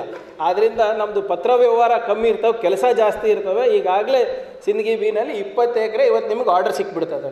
That is not an issue ಆದರೆ ಅದಕ್ಕೆ ಸರ್ಕಾರದಿಂದ ಯಾವ ರೀತಿ ನಾವು ಅಲೋಕೇಶನ್ ಮಾಡಬೇಕು ಅಲಾಟ್ಮೆಂಟ್ ಮಾಡಬೇಕು, ನಿಮ್ಮೆಲ್ಲರ ಜೊತೆ ಕೂತ್ಕೊಂಡು ಚರ್ಚೆ ಮಾಡಿ ಸರ್ಕ ಕ್ಯಾಬಿನೆಟಿಗೆ ಪ್ರಸ್ತಾವನೆ ಒಯ್ಯೋ ಜವಾಬ್ದಾರಿ ನಂದು, ಅದು ಮಾಡಿಸೋ ಜವಾಬ್ದಾರಿ ನಂದು. ಅದ್ರ ಬಗ್ಗೆ ತಾವು ನಿಶ್ಚಿಂತರಿರಿ ಅಂತ ನಾನು ಹೇಳ್ತಾ, ಕೊನೆಯದಾಗಿ ಇವತ್ತು ನಮ್ಮ ಎಲ್ಲರಿಗೂ ಕರೆಸಿ ತಾವು ಪಾಪ ಅವರ ಮಕ್ಕಳೇ ಪಾಪ ಮೂರೇ ಜನ ವೀರರಿದ್ದಾರೆ ಯಾಕೋ? ಹಸುವಾಗಿಲ್ಲ ಸೊ ಅವ್ರಿಗೆ ಕೂಡ ಪಾಪ ಸಾಕಷ್ಟು ತೊಂದರೆ ಕೊಟ್ವಿ. ನಾವು ಮಕ್ಳಿಗೆ ಹಿಡಿದಿಟ್ರೆ ಫ್ಯಾಮ್ಲಿ ಇರ್ತಾರಂತ ನಾವು ಮಾಡಿದ್ವಿ. ಆದರೆ ಅವರಿಗೂ ತೊಗೊಂಡೋದ್ರು. ಏನೇ ಇದ್ದರೂ ಕೂಡ ಇವತ್ತು ತಾವೆಲ್ಲ ಅವರಿಗೆ ಒಂದು ಅವರ ಪ್ರತಿಭಾ ಪುರಸ್ಕಾರವನ್ನು ತಾವು ನಡೆಸ್ಕೊಟ್ಟಿದ್ದೀರ. ನಿಜವಾಗ್ಲೂ ಭಾಳ ಸಂತೋಷದ ವಿಷಯ ಮತ್ತು ವಿಶೇಷವಾಗಿ ಇವತ್ತು ಪತ್ರಿಕಾ ದಿನಾಚರಣೆ ದಿವಸ ತಾವೆಲ್ಲರೂ ಕರೆದಿ ನಮ್ಮೆಲ್ಲರಿಗೂ ಸನ್ಮಾನ ಮಾಡಿದ್ದಕ್ಕೆ, ನಮ್ಮ ಎರಡು ಮಾತು ಕೇಳಿದ್ದಕ್ಕೆ ತಮಗೆಲ್ಲರಿಗೂ ವಂದಿಸ್ತಾ ಎರಡು ಮಾತು ಮುಗಿಸ್ತೀನಿ. ಜೈ ಹಿಂದ್, ಜೈ ಕರ್ನಾಟಕ. ಮಿತ್ರರೇ, ಮೊದಲನೇದಾಗಿ ಸಾಕಷ್ಟು ಸಮಯ ಆಗಿದೆ. ಹೆಚ್ಚೇನು ಮಾತಾಡೋದಿಲ್ಲ. ಯಾಕಂದರೆ ಖಾಲಿ ಹೊಟ್ಟೆನಲ್ಲಿ ಭಾಷಣ ಹೋಗೋದಿಲ್ಲ ಯಾರಿಗೂ. ಸೊ ಆದ್ದರಿಂದ ಆದಷ್ಟು ಸಂಕ್ಷಿಪ್ತವಾಗಿ ಮುಗಿಸ್ಲಿಕ್ಕೆ ಪ್ರಯತ್ನ ಮಾಡ್ತೇನೆ. ಮೊದಲನೇದಾಗಿ, ಎಲ್ಲ ನಮ್ಮ ಮಾಧ್ಯಮದ ಮಿತ್ರರಿಗೆ ಪತ್ರಿಕಾ ದಿನಾಚರಣೆಯ ಶುಭಾಶಯಗಳನ್ನು ನಾನು ವೈಯಕ್ತಿಕವಾಗಿ ಕೋರ್ಲಿಕ್ಕೆ ನಾನು ಬಯಸ್ತಾ ಇದ್ದೀನಿ. ಅದಲ್ಲದೆ ವಿಶೇಷವಾಗಿ ಇವತ್ತು ಸಾಕಷ್ಟು ವಿದ್ಯಾರ್ಥಿಗಳು ಇವತ್ತು ಹೆಚ್ಚಿನ ಅಂಕಗಳನ್ನು ಗಳಿಸಿ ಅವರು ಕೂಡ ಇವತ್ತು ಪ್ರಶಸ್ತಿಗೆ ಪಾತ್ರರಾಗಿದ್ದಾರೆ. ಅವರು ಕೂಡ ವೈಯಕ್ತಿಕವಾಗಿ ಅಭಿನಂದನೆಯನ್ನು ಸಲ್ಲಿಸುತ್ತಾ ಮತ್ತು ಇವತ್ತಿನ ದಿನ ಪತ್ರಿಕಾ ದಿನಾಚರಣೆಯ ಅಂಗವಾಗಿ ಸಾಕಷ್ಟು ಹಿರಿಯ ಪತ್ರಕರ್ತರು, ಯುವ ಪತ್ರಕರ್ತರು ಹಲವಾರು ಪ್ರಶಸ್ತಿಗೆ ಪಾತ್ರರಾಗಿದ್ದಾರೆ, ವಿಜೇತರಾಗಿದ್ದಾರೆ, ಆಗಿದ್ದಾರೆ. ಅವ್ರಿಗೆ ಕೂಡ ನಾನು ವೈಯಕ್ತಿಕವಾಗಿ ನಾನು ಅಭಿನಂದನೆ ಸಲ್ಲಿಸ್ಲಿಕ್ಕೆ ನಾನು ಬಯಸ್ತಾ ಇದ್ದೇನೆ. ಬೆಂಜಮಿನ್ ಫ್ರ್ಯಾಂಕ್ಲಿನ್ ನಮ್ಮ ಅಮೆರಿಕನ, ಅಮೆರಿಕದ ಒಬ್ಬ ಹಿರಿಯ ಚಿಂತಕರು ರಾಜಕಾರಣಿಗಳು ಹೇಳ್ತಾರೆ and investment in knowledge pays the best dividend ಅಂತ ಹೇಳ್ತಾರೆ. ಅಂದರೆ ನೀವು ಬಂಡವಾಳ ಯಾವುದ್ರಲ್ಲಿ ಹಾಕಿದ್ರೂ ಕೂಡ ನಿಮಗೆ ಅತ್ಯಂತ ಲಾಭ ಆಗುವುದು ಶಿಕ್ಷಣ ಕ್ಷೇತ್ರದಲ್ಲಿ ಮಾತ್ರ, ಬೇರೆ ಎಲ್ಲೂ ಆಗೋದಿಲ್ಲ ಅಂತ. ಯಾಕಂದರೆ ನೀವು ರಿಯಲ್ ಎಸ್ಟೇಟ್ನಲ್ಲಿ ಹಾಕಿದ್ರೂ ನಿಮಗೆ ರಿಟರ್ನ್ ಆಫ್ ಇನ್ವೆಸ್ಟ್ಮೆಂಟ್ ಅಷ್ಟೇ ಬರುತ್ತೆ. ನೀವು ಫಿಕ್ಸ್ ಡಿಪಾಸಿಟ್ನಲ್ಲಿಟ್ಟರೂ ನಿಮಗೆ ಕಮ್ಮಿ ಬರುತ್ತೆ. ಆದರೆ ಯಾವಾಗ ನೀವು ಒಬ್ಬ ವ್ಯಕ್ತಿಯ ಅಥವಾ ವಿದ್ಯಾರ್ಥಿಯ ಶಿಕ್ಷಣದಲ್ಲಿ ತಾವು ಇನ್ವೆಸ್ಟ್ ಮಾಡ್ತೀರಾ, ಬಂಡವಾಳ ಹಾಕ್ತೀರಾ, ಅದರಿಂದ ಜಾಸ್ತಿ ಲಾಭ ಆಗುತ್ತೆ ಹೊರತು ಬೇರೆ ಯಾವುದರಿಂದನೂ ನಾವು ಅಷ್ಟು ಲಾಭ ಗಳಿಸ್ಲಿಕ್ಕಾಗಲ್ಲ ಅಂತ ಅವ್ರು ಹೇಳ್ತಾರೆ. ಬಹುಶಃ ಅದು ಭಾಳ ಸತ್ಯದ ಮಾತು ಅನಿಸುತ್ತೆ. ಯಾಕಂದರೆ ನನ್ನ ಪ್ರಕಾರ ಶಿಕ್ಷಣ ನೀಡಿದಾಗ ನಾವು ಒಬ್ಬ ವ್ಯಕ್ತಿ ಮಾತ್ರ ನಾವು ಬೆಳೆಸ್ತಾ ಇಲ್ಲ ನಾವು ಒಂದು ದೇಶದ ದೇಶವನ್ನು ಕಟ್ಟುವ ಕೆಲಸ ಮಾಡ್ತಾ ಇದ್ದೀವಿ ಅಂತ ನನ್ನ ವೈಯಕ್ತಿಕ ಅಭಿಪ್ರಾಯ ಇದೆ. ಯಾಕಂದರೆ ನಾವು ದೇಶವನ್ನು ಕಟ್ಟುವುದು ಬರೇ ಏನು ನಾವು ಅಸೆಟ್ ಕ್ರಿಯೇಷನ್ ಅಂತೀವಿ. ನಾವು ದೇಶವನ್ನು ಕಟ್ಟುವುದು ಬರೇ ರೋಡ್ ಆಗಲಿ, ನೀರಾವರಿ ಆಗಲಿ, ಅಥವಾ ಯಾವುದೋ ಒಂದು ಯು ಜಿ ಡಿ ಕಾರ್ಯಕ್ರಮ ಆಗಲಿ, ಸೇತುವೆ ಕಟ್ಟೋದು ಅಷ್ಟೇ ಅಲ್ಲ. ನಾವು ಒಂದು ಉತ್ತಮವಾದಂಥ ದೇಶವನ್ನು ಕಟ್ಟಬೇಕಂದ್ರೆ, ಸಶಕ್ತ ರಾಷ್ಟ್ರವನ್ನು ನಾವು ಕಟ್ಟಬೇಕಂದ್ರೆ, ನಾವು ಶಿಕ್ಷಣದ ಮುಖಾಂತರ ನಮ್ಮ ಮಾನವ ಸಂಪನ್ಮೂಲವನ್ನು ನಾವು ಕಟ್ಟಬೇಕಾಗ್ತದೆ. ಆಮೇಲೆ ನಾವು ಮಾನವ ಸಂಪನ್ಮೂಲವನ್ನು ಬೆಳೆಸ್ಬೇಕಂದ್ರೆ ಅದಕ್ಕೆ ಶಿಕ್ಷಣ ಒಂದೇ ದಾರಿ. ಸೊ ಆದ್ದರಿಂದ ಇವತ್ತು ತಾವೆಲ್ಲ ಏನು ಪ್ರೋತ್ಸಾಹ ನೀಡ್ತಾ ಇದ್ದೀರಾ ನಮ್ಮ ವಿದ್ಯಾರ್ಥಿಗಳಿಗೆ, ತಮ್ಮ ಕುಟ ತಮ್ಮ ಮಕ್ಕಳಿಗೆ? ಇದು ಬರೇ ನೀವು ನಿಮ್ಗೆ ಅನಿಸ್ತಿರ್ಬೋದು ಇಲ್ಲಪ್ಪ, ನಾವು ನಮ್ಮ ಮಕ್ಕಳಿಗೆ ಪ್ರೋತ್ಸಾಹ ಕೊಡ್ತಾ ಇದ್ದೀರಾ? ಆದರೆ ನಿಜವಾಗ್ಲೂ ತಾವು ಏನು ಮಾಡ್ತಾ ಇದ್ದೀರಾ ಅಂದರೆ ಒಂದು ಬಲಿಷ್ಠವಾದಂಥ ರಾಷ್ಟ್ರದ ಬುನಾದಿಯನ್ನು ತಾವು ಇಡ್ತಾ ಇದ್ದೀರಿ ಅಂತ ನಾನು ಹೇಳಕ್ಕೆ ನಾನು ಬಯಸ್ತಾ ಇದ್ದೀನಿ. ಇದು ಯಾಕೆ ಹೇಳ್ತಾ ಇದ್ದೀನಿ ಅಂದರೆ ನಾನು ವೈಯಕ್ತಿಕವಾಗಿ ಕೂಡ ನಾನು ನೋಡಿದ್ದೀನಿ. ತಮ್ಮೆಲ್ಲರ ಆಶೀರ್ವಾದದಿಂದ ಹಿಂದಿನ ಸರ್ಕಾರದಲ್ಲಿ ನಾನು ಐ ಟಿ ಸಚಿವನಿದ್ದೆ. ಮಾಹಿತಿ ತಂತ್ರಜ್ಞಾನ ಸಚಿವನಿದ್ದಾಗ ಸಹಜವಾಗಿ ಹೊರದೇಶದವ್ರ ಜೊತೆ ಸಾಕಷ್ಟು ನಾನು ಮಾತನಾಡ್ತಾ ಇದ್ದೆ. ಸಾಕಷ್ಟು ಕಡೆ ನನಗೆ ಲಂಡನ್ ಆಗಿರ್ಬೋದು ಆಮೇಲೆ ನಮ್ಮ ಸಿಂಗಪೂರ್ ಆಗಿರ್ಬೋದು, ಆಸ್ಟ್ರೇಲಿಯಾ ಆಹ್ವಾನಗಳು ಕೂಡ ಬಂದಿದೆ. ಸಾಕಷ್ಟು ಕಡೆ ಓಡಾಡಿದ್ದೀನಿ. ಓಡಾಡಿದಾಗ ನನಗೇನು ಅನಿಸ್ತದೆ ಅಂದರೆ, ಇವತ್ತು ಆಧುನಿಕ ಈ ಒಂದು ತಂತ್ರಜ್ಞಾನದಿಂದ ಇವತ್ತು ಭೌಗೋಳಿಕವಾಗಿ ನಾವೇನು ಗಡಿಗಳನ್ನು ನಾವು ಹಾಕ್ಕೊಂಡಿದ್ದೀವಿ ಅವೆಲ್ಲ ಇವಾಗಿಲ್ಲ ಇವಾಗ. ಇವತ್ತು ನಿಮ್ಮ ಅಂಗೈನಲ್ಲಿ ಡಾಕ್ಟರ್ ಅವರು ವಿಕ್ರಮ್ ಅವರು ಹೇಳಬೇಕಾದ್ರೆ ಹೇಳಿದ್ರು. ಎಷ್ಟು ಇನ್ಫಾರ್ಮೇಷನ್ ಬರ್ತಾ ಇದೆ. ಇವತ್ತು ನಿಮ್ಮ ಅಂಗೈನಲ್ಲಿ ಇವಾಗ ಅಮೆರಿಕಾನಲ್ಲಿ ಏನಾಗ್ತಾ ಇದೆ ತಿಳಿತಾ ಇದೆ. ಆಸ್ಟ್ರೇಲಿಯಾನಲ್ಲಿ ಏನಾಗ್ತಾ ಇದೆ ತಿಳಿತಾ ಇದೆ. ಇಂಗ್ಲೆಂಡ್ನಲ್ಲಿ ಏನಾಗ್ತಾ ಇದೆ ತಿಳಿತಾ ಇದೆ. ಯಾವಾಗ ನಮಗೆ ಈ ಗಡಿಗಳೇನಿದೆ ಅದು ಏನು ನಮಗೆ ಅದು ಅಂತರ ಕಾಣಿಸ್ತಾ ಇರಲಾರ್ದ ಕಾರಣ ಇವತ್ತು ನಮ್ಮ ಸಮಾಜ ಯಾವ ರೀತಿ ಕಟ್ಟಬೇಕಂತ ಕೂಡ ನಾವು ನೋಡಬೇಕಾಗ್ತದೆ. ಯಾಕಂದರೆ ಇವತ್ತು ನಾವು ನಮ್ಮ ದೇಶ ವಿಶ್ವದ ನಾಯಕತ್ವವನ್ನು ವಹಿಸ್ಕೋಬೇಕಾದ್ರೆ ನಾವೇನಾದರೂ ಸೂಪರ್ ಎಕನಾಮಿಕ್ ಪವರ್ ಆಗಬೇಕಂದ್ರೆ ನಾವು ನಾಲೆಜ್ ಬೇಸ್ಡ್ ಸೊಸೈಟಿ ಅಂದರೆ ಜ್ಞಾನದ ಒಂದು ಸಮಾಜವನ್ನು ಕಟ್ಟುವ ಅನಿವಾರ್ಯತೆ ಇವತ್ತಿದೆ. ಆ ಬುನಾದಿಯನ್ನು ಇವತ್ತು ತಾವು ಇಲ್ಲೆಲ್ಲರೂ ಹಾಕ್ತಾ ಇದ್ದೀರಿ ಅಂತ ನಾನು ಹೇಳಲಿಕ್ಕೆ ನಾನು ಬಯಸ್ತಾ ಇದ್ದೀನಿ ಇವತ್ತು. ಯಾಕಂದರೆ ನಾವು ಬರೇ ಬಂಡವಾಳಕ್ಕೋಸ್ಕರ ಯಾವುದೋ ಇನ್ವೆಸ್ಟ್ ಬಿಸ್ನೆಸ್ ಫ್ರೆಂಡ್ಲಿ ನೀತಿಗಳು ಮಾಡಿದ್ರೆ ಆಗೋದಿಲ್ಲ. ಅಂದರೆ ಬಂಡವಾಳ ಬರಬೇಕಂತ ಸಾಕಷ್ಟು ಆರ್ಥಿಕ ನೀತಿಗಳು ಇರ್ತವೆ ಸಾಕಷ್ಟು ಪಾಲಿಸಿಗಳು ನಾವು ಮಾಡ್ತೀವಿ. ಆದರೆ ಬರೇ ಪಾಲಿಸಿ ಮಾಡದೆ ಸಾಲದು. ಅದಕ್ಕೆ ತಕ್ಕಂಗೆ ನಾವು ಗುಣಮಟ್ಟವಾದಂಥ ಒಂದು ಒಳ್ಳೆಯ ರೀತಿಯಾದಂಥ ಏನು ಮಾನವ ಸಂಪನ್ಮೂಲ ಕೊಟ್ಟರೆ ಜನ ಬರ್ತಾರೆ. ಆದ್ದರಿಂದ ಬಹಳ ಮುಖ್ಯವಾಗಿ ನಾವು ಶಿಕ್ಷಣದ ಮೇಲೆ, ನಮ್ಮ ಮಕ್ಕಳ ಶಿಕ್ಷಣದ ಮೇಲೆ ನಾವು ಹೆಚ್ಚು ಗಮನ ಕೊಡಬೇಕಾಗ್ತದೆ. ಯಾಕಂದರೆ ನಾನು ಹೇಳ್ದಂಗೆ ನಾವು ನಾಲೆಜ್ ಬೇಸ್ಡ್ ಸೊಸೈಟಿ ನಾವು ಮಾಡಬೇಕಾಗ್ತದೆ. ಆದರೆ ನನ್ನ ಒಂದು ವಿನಂತಿ ನಮ್ಮ ಇಲ್ಲಿ ಸಾಕಷ್ಟು ಜನ ಪೋಷಕರಿದ್ದಾರೆ. ನಂದು ಒಂದೇ ಒಂದು ವಿನಂತಿ ಏನಪ್ಪ ಅಂದರೆ ದಯವಿಟ್ಟು ಮಕ್ಕಳಿಗೆ ನಾವು ಏನು ಅವ್ನು ನೈಂಟಿ ಪರ್ಸೆಂಟ್ ತೊಗೊಂಡ, ನೀನು ಏಯ್ಟಿ ಏಯ್ಟ್ ಪರ್ಸೆಂಟ್ ತೊಗೊಂಡು ಇದೇ ಏನು ಡಾಕ್ಟರ್ ರ್ಯಾಟ್ ರೇಸ್ ಈ ರ್ಯಾಟ್ ರೇಸ್ನಲ್ಲಿ ಬಿಟ್ಬಿಟ್ರೆ ಬಹಳ ಕಷ್ಟ ಆಗುತ್ತೆ. ನಮ್ಮ ಮಕ್ಕಳಿಗೆ ಉನ್ನತವಾದಂಥ ಶಿಕ್ಷಣ ನಾವು ಕೊಡ್ಸೋಣ. ಅವರಿಗೆ ನಂದು ತಮ್ಮೆಲ್ಲ, ತವ ನನ್ನ ಮನವಿ ತಮ್ಮಲ್ಲೇ ಏನಪ್ಪ ಅಂದರೆ, ದಯವಿಟ್ಟು ವೈಜ್ಞಾನಿಕ ಮನೋಭಾವನೆ ಒಂದು ಮಾತ್ರ ಬೆಳೆಸಿ ಅವರ ಯಾಕಂದರೆ ನಾವು ಯಾವಾಗ ವೈಜ್ಞಾನಿಕ ಮನೋಭಾವನೆಯನ್ನು ನಾವು ಬೆಳೆಸ್ತೀವಿ, ಆ ಸಮಾಜದಲ್ಲಿ ಪ್ರಗತಿಪರವಾದಂಥ ವಿಚಾರಗಳಿರ್ತವೆ. ಯಾವಾಗ ವೈಜ್ಞಾನಿಕ ಮನೋಭಾವನೆ ಇರ್ತದೆ ಪ್ರಗತಿಪರವಾದಂಥ ಚಿಂತನೆ ಇರ್ತದೆ, ಆ ಸಮಾಜದಲ್ಲಿ ನಾವು ಸಮೃದ್ಧಿಯನ್ನು ನಾವು ಕಾಣ್ಬೋದಾಗಿದೆ. ನಾವು ಏನಾದರೂ ಅಪ್ಪಿ ತಪ್ಪಿ ಇಲ್ಲಪ್ಪ, ನಾವು ನಮ್ಮ ಇತಿಹಾಸವಾದ ಪುಟದನ್ನು ನಾವು ಗಮ, ಗಮನಿಸಲಾರದೆ ನಾವು ಏನೋ ಒಂದು ಮಾಡ್ತೀವಿ ಅಂದರೆ ಆಗೋದಿಲ್ಲ. ಯಾಕಂದರೆ ನಾನು ನಾವು ಸಾಕಷ್ಟು ಸಂದರ್ಭದಲ್ಲಿ ನೋಡಿದ್ದೀವಿ. ನಮ್ಮಂಥ ರಾಜಕಾರಣಿಗಳು ಹಲವಾರು ವೇದಿಕೆಗಳಲ್ಲಿ ಜ್ಞಾನದ ಏನು ಪರಿಕಲ್ಪನೆ ಇರ್ತದ್ದು ಇರು ಇಲ್ಲದೆ ಅಥವಾ ವಿಜ್ಞಾನದ ಪರಿಕಲ್ಪನೆ ಇರಲಾರ್ದೆ ಮಾತನಾಡೋದು ಕೂಡ ನೋಡಿದ್ದೀವಿ ಎಷ್ಟೊಂದು ಕಡೆ ಈ ಇಂಡಿಯನ್ ಸೈನ್ಸ್ ಕಾಂಗ್ರೆಸ್ನಲ್ಲಿ ಕೆಲವು ನಾಯಕರು ಹೇಳ್ತಾರೆ, ಇಲ್ಲಪ್ಪ ಪ್ಲಾಸ್ಟಿಕ್ ಸರ್ಜರಿ ಅವಾಗೇ ಇತ್ತು. Ganesha first plastic surgery patient ಆಗಿದ್ರು. Karna first test tube baby ಆಗಿದ್ದರು ಕ್ಲೈಮೇಟ್ ಚೇಂಜ್ ಅನ್ನೋದೇ ಇಲ್ಲ ಅಂತ ಹೇಳ್ತಾರೆ. ಇವೆಲ್ಲ ಏನಾಗ್ತದೆ? ನಮ್ಮ ಮುಂದೆ ಹೇಳಲಿಕ್ಕೆ, ಮಾಡಲಿಕ್ಕೆ ಚೆನ್ನಾಗಿರ್ತದೆ. ಮಹಾಭಾರತ ಉಲ್ಲೇಖಿಸೋದು ರಾಮಾಯಣ ಅದ್ರ ಬಗ್ಗೆ ನಮ್ಗೆ ಹೆಮ್ಮೆ ಇದೆ. ನಮ್ಮ ಗ್ರಂಥಗಳು ಅವು. ನಮ್ಮ ಏನು ನಮ್ಮ ಒಂದು ಕಲ್ಚರ್ನಲ್ಲಿ ಅದು ಅಳವಡಿಸ್ಕೊಂಡು ನಾವು ಬಂದಿದ್ದೀವಿ. ಆದರೆ ವಿಜ್ಞಾನ ಯಾವುದು, ಪುರಾಣ ಯಾವುದು ಅಂದ್ಬಿಟ್ಟು ಭಾಳ ಸ್ಪಷ್ಟವಾಗಿ ನಾವು ತಿಳ್ಕೊಬೇಕಾಗ್ತದೆ. ಯಾಕಂದರೆ ನಾವು ಇದನ್ನು ಕನ್ಫ್ಯೂಸ್ ಮಾಡ್ಕೊಂಡ್ಬಿಟ್ರೆ ಮಕ್ಕಳಲ್ಲಿ ಮುಂದಿನ ಎರಡು ಮೂರು ತಲೆಮಾರು ಮಾನವ ಸಂಪನ್ಮೂಲವನ್ನು ನಾವು ಕಳ್ಕೊತೀವಿ. ಸೊ ಆದ್ದರಿಂದ ನನ್ನ ವೈಯಕ್ತಿಕ ಬೇಡಿಕೆ ಏನಪ್ಪ ಮನವಿ ನಮ್ಮ ಎಲ್ಲ ಪೋಷಕರಲ್ಲಿ, ದಯವಿಟ್ಟು ನಮ್ಮ ಮಕ್ಕಳಲ್ಲಿ ನಾವು ಒಂದು ವೈಜ್ಞಾನಿಕ ಒಂದು ಮನೋಭಾವನೆಯನ್ನು ನಾವು ಬೆಳೆಸಲಿಕ್ಕೆ ಪ್ರಯತ್ನ ನಾವು ಮಾಡೋಣ ಅಂತ ನಾವು ಹೇಳಲಿಕ್ಕೆ ಬಯಸ್ತಾ ಇದ್ದೀನಿ. ಮತ್ತು ವಿಶೇಷವಾಗಿ ಬಂಧುಗಳೇ, ಇದು ಇವತ್ತಿನ ದಿನ ಭಾಳ ಇವತ್ತು ಮೂರ್ನಾಲ್ಕು ಒಳ್ಳೆ ಶು- ಶುಭ ಸಂದರ್ಭಗಳಿವೆ. ಮೊದಲನೇದು ಇವತ್ತು ಪತ್ರಿಕಾ ದಿನಾಚರಣೆ, ಚಾರ್ಟೆಡ್ ಅಕೌಂಟ್ಸ್, ಅಕೌಂಟೆಂಟ್ಸ್ ದಿನಾಚರಣೆ ಮತ್ತು ಡಾಕ್ಟರ್ಸ್ ದಿನಾಚರಣೆ. ಇವ್ರು ಮೂರೂ ಕೂಡ ಭಾಳ ಇಂಪಾರ್ಟೆಂಟ್ ಇದ್ದಾರೆ ನಮ್ಮ ಸಾಹೇಬರಿಗಂತೂ ಸಿ ಎಗಳು ಭಾಳ ಇಂಪಾರ್ಟೆಂಟ್ ಬಿ ಜಿ ಪಾಟೀಲ್ ಸಾಹೇಬ್ರಿಗೆ. ನಿಮಗೆ, ನಮಗೆ ನಮಗೆ ಡಾಕ್ಟರ್ಸು ಅದಾದಮೇಲೆ ಪತ್ರಕರ್ತರು. ನಮ್ಮ ಜೀವ ಇದ್ದರೆ ಅವ್ರೇನಾದರೂ ಬರೀತಾರೆ ನಮ್ಮ ಬಗ್ಗೆ. ಇವತ್ತು ಅವ್ರಿಗೆ ಕೂಡ ನಾನು ಶುಭಾಶಯಗಳನ್ನು ಕೂರ್ತಾ ಇದ್ದೀನಿ. ಆದರೆ ಇವತ್ತಿನ ದಿನ ಸಾವಿರದ ಎಂಟುನೂರ ನಲ್ವತ್ತ್ಮೂರರಲ್ಲಿ ಹರ್ಮನ್ ಮೋಗ್ಲಿಂಗ್ ಅಂದ್ಬಿಟ್ಟು ಒಬ್ಬ ಜರ್ಮನ್ ಕ್ರಿಶ್ಚಿಯನ್ ಮಿಷನರಿ ಇವತ್ತು ನಮ್ಮ ರಾಜ್ಯಕ್ಕೆ ಬಂದು ಇವತ್ತು ಪ್ರಪ್ರಥಮವಾದಂಥ ಮಂಗಳೂರು ಸಮಾಚಾರ ಅಂದ್ಬಿಟ್ಟು ಒಂದು ಪತ್ರಿಕೆಯನ್ನು ಪ್ರಾರಂಭ ಮಾಡಿರುವ ನಿಟ್ಟಿನಲ್ಲಿ ಅವರ ಒಂದು ನೆನಪಿನಲ್ಲಿ ಇವತ್ತು ನಾವು ಈ ದಿನಾಚರಣೆಯನ್ನು ನಾವು ಮಾಡ್ತಾ ಇದ್ವಿ. ಭಾಳ ಹೆಮ್ಮೆ. ಯಾಕಂದರೆ ನಾನು ಕೂಡ ಅದ್ರ ಬಗ್ಗೆ ಓದ್, ಓದ್ತಾ ಇರಬೇಕಾದ್ರೆ ನಾನು ಸ್ವಲ್ಪ ಮಟ್ಟಿಗೆ ತಿಳ್ಕೊಂಡೆ. ಅವರು ಎರಡೇ ವರ್ಷ ನಡೆಸಿದ್ದ ಮಂಗಳೂರು ಸಮಾಚಾರ. ಆ ಎರಡು ವರ್ಷ ಅವಧಿನಲ್ಲಿ ಅವರು ಪ್ರಿಂಟ್ ಮಾಡಿದ್ದು ಅವಾಗ ಇವಾಗೆಲ್ಲ ನಿಮ್ಮ ಮಾಡರ್ನ್ ಡಿಜಿಟಲ್ ಪ್ರೆಸ್ ಎಲ್ಲ ಇರಲಿಲ್ಲ. ಲಿಥೋಗ್ರಾಫ್ ಅಂತ ಇರ್ತಾ ಇತ್ತು ಅಂದರೆ ನೀವು ವುಡ್ಡು ಸ್ಟೋನು ಅಥವಾ ಕಲ್ಲಿನಲ್ಲಿ ಏನೋ ಇಂಕ್ ಹಾಕ್ಬಿಟ್ಟು ನೀವು ಎಲ್ಲ ಡಾಬ್ಬೇಕಾಗ್ತಾ ಇತ್ತು ಅವಾಗ ಲಿಥೋಗ್ರಾಫ್ ಇತ್ತು. ಅವಾಗ ಭಾಳ ಕಷ್ಟ ಇತ್ತು. ಅಂಥ ಸಂದರ್ಭದಲ್ಲಿ ಎರಡು ವರ್ಷದಲ್ಲಿ ಏಳು ಸಾವಿರದ ಎಂಟುನೂರ ಐವತ್ತು ಕಾಪಿ ಎರಡು ವರ್ಷದಲ್ಲಿ ಮಾಡಿದ್ದಾರೆ. ಇವಾಗ ಏನಾದರೂ ಸರ್ಕ್ಯುಲೇಷನ್ ಇಷ್ಟು ಮಾಡಿದ್ರೆ ಸರ್ ನಿಮ್ಮದೆಲ್ಲ ನೌಕರಿ ಹೋಗ್ಬಿಡ್ತವೆ. ಅವಾಗ ಎರಡು ವರ್ಷದಲ್ಲಿ.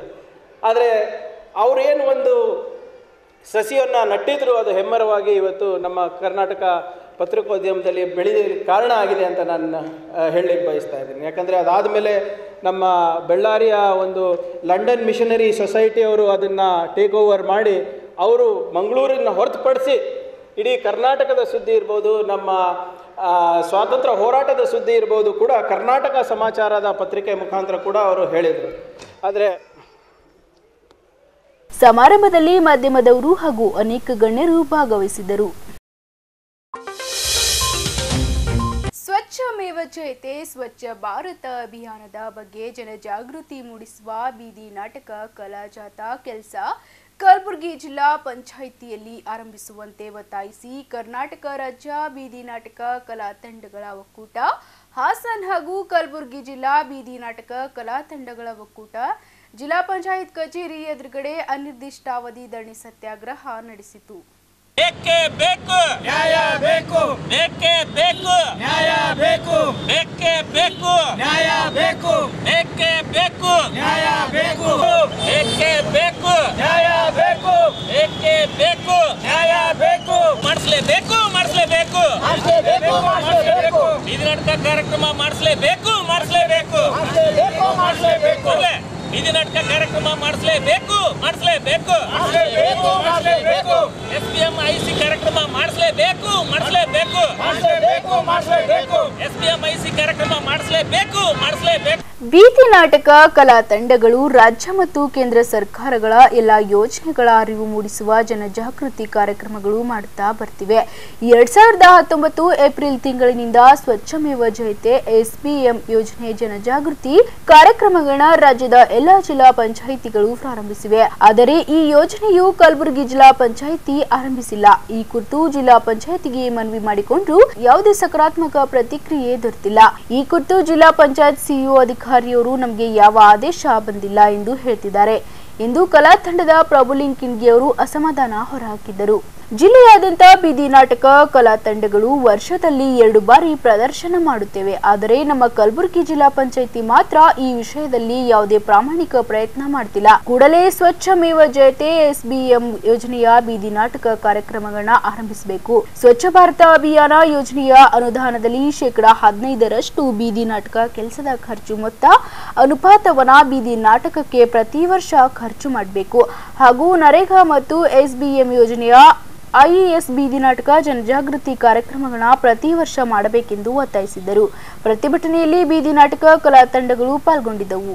ತಂಡಗಳ ಒಕ್ಕೂಟ ಹಾಸನದ ವತಿಯಿಂದ ಒಂದು ಕಾರ್ಯಕ್ರಮವನ್ನು, ಒಂದು ಅನಿರ್ದಿಷ್ಟಾವಧಿ ಧರಣಿ ಸತ್ಯಾಗ್ರಹವನ್ನು ಇವತ್ತು ಜಿಲ್ಲಾ ಪಂಚಾಯತ್ ಕಚೇರಿ ಮುಂದೆ ಮಾಡ್ತಾ ಇದ್ದೀವಿ. ನಮ್ಮ ಬೇಡಿಕೆ ಏನು ಅಂದರೆ ಸ್ವಚ್ಛ ಭಾರತ್ ಅಭಿಯಾನ ಏನು ಹಳ್ಳಿಯಲ್ಲಿ ಶೌಚಾಲಯ ಕಟ್ಟೋ ಕೆಲಸ ನಡೀತಾ ಇದೆ, ಅದಕ್ಕೆ ಪೂರಕವಾಗಿ ವಾತಾವರಣ ನಿರ್ಮಿಸ್ತಕ್ಕಂಥ ಜನಜಾಗೃತಿ, ಬೀದಿ ನಾಟಕ ಐ ಸಿ ಕಾರ್ಯಕ್ರಮಗಳನ್ನು, ಕಲಾ ಜಾಥಾಗಳನ್ನು ನಡೆಸಬೇಕು ಅಂಥೇಳಿ ನಮ್ಮ ಬೇಡಿಕೆ ಇದೆ.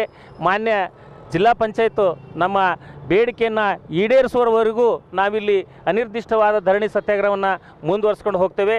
ಯಾಕಂದರೆ ಇವತ್ತು ಶೌಚಾಲಯ ಕಟ್ಟೋದು ಎಷ್ಟು ಅವಶ್ಯ ಇದೆ ಅದನ್ನು ಬಳಸೋದು ಕೂಡ ಅಷ್ಟೇ ಅವಶ್ಯ ಇದೆ. ಇವತ್ತು ಯಾದಗಿರಿ ಜಿಲ್ಲೆಯಲ್ಲಿ ವರ್ಷದಲ್ಲಿ ಒಂದು ಜೂನ್ ತಿಂಗಳಲ್ಲಿ, ಒಂದು ಫೆಬ್ರವರಿ ತಿಂಗಳಲ್ಲಿ ಎರಡು ಸಾರ್ತಿ ಇವತ್ತು ಬೀದಿ ನಾಟಕ ಕಲಾ ಜಾಥಾ ಮಾಡಿ ಕಟ್ಟಿರ್ತಕ್ಕಂಥ ಶೌಚಾಲಯ ಬಳಸಲಿಕ್ಕೆ ಒಂದು ಅವೇರ್ನೆಸ್ ಮೂಡಿಸ್ತಾ ಇದ್ದಾರೆ.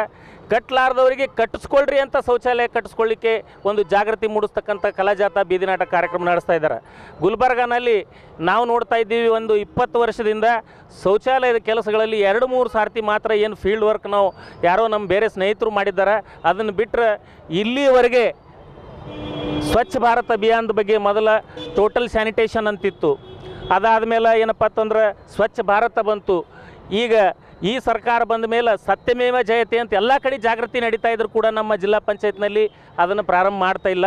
ದಯವಿಟ್ಟು ಇಲ್ಲಿ ಸ್ವಚ್ಛಮೇವ ಜಯತೆ ಕಾರ್ಯಕ್ರಮ ಏನದ ಅವೇರ್ನೆಸ್ ಮಾಡೋದು ಚಾಲೂ ಮಾಡಬೇಕು. ಮತ್ತು ಸ್ವಚ್ಛ ಭಾರತ್ ಅಭಿಯಾನದು ಬೀದಿ ನಾಟಕ ಕಲಾ ಜಾಥಾ ಕಾರ್ಯಕ್ರಮವನ್ನು ಪ್ರಾರಂಭಿಸಬೇಕು ಅಂಥೇಳಿ ನಾವು ಮಾನ್ಯ ಜಿಲ್ಲಾ ಪಂಚಾಯತ್ಗೆ ಸರ್ಕಾರಕ್ಕೆ ಈ ಮೂಲಕ ನಮ್ಮ ಮನವಿಯನ್ನು ಸಲ್ಲಿಸ್ತಾ ಇದ್ದೀವಿ. ನಮ್ಮ ಬೇಡಿಕೆ ಈಡೇರುವವರೆಗೂ ನಾವು ಹೋರಾಟವನ್ನು ನಡೆಸ್ತೀವಿ ಅಂತಕ್ಕಂಥ ಮಾತನ್ನು ಈ ಹೊತ್ತಿನಲ್ಲಿ ಹೇಳ್ತೀವಿ.